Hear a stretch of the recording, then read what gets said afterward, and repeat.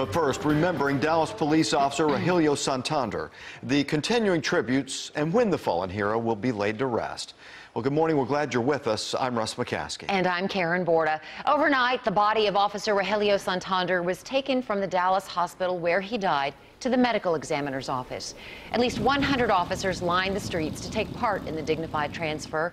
Last night, hundreds of candles were lit in honor of the fallen officer. CBS 11's Jennifer Lindgren is live at the Northeast Patrol Division in Dallas, where a memorial continues to grow for Officer Santander. Jen.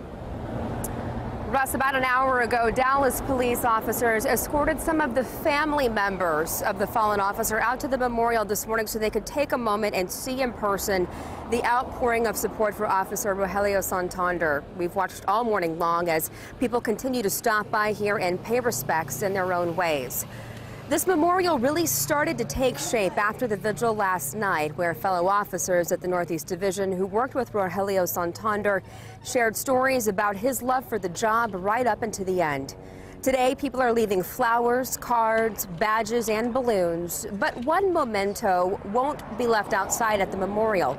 Mark Erland and Naya Callan dropped off three handmade crosses for Officer Santander, Officer Crystal Almeida, and Home Depot employee Scott Painter. Mark makes these for families who lose loved ones, something hopeful for them to hold on to. You get used to it, but it's, it's never uh, never something to you look forward to or anything. You know, it's more of a just, it's something we feel like we need to do, but it, it is tough. You know, we don't even know this this guy that passed away, this officer, and it's it's heartbreaking. The funeral service is already set for Officer Santander. It is scheduled for Tuesday at 11 a.m. at Lake Pointe Church in Rockwall.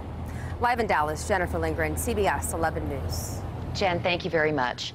Dallas police officer Crystal Almeida and Home Depot employee Scott Painter, who were also shot Tuesday, remain hospitalized. At last check, both were improving.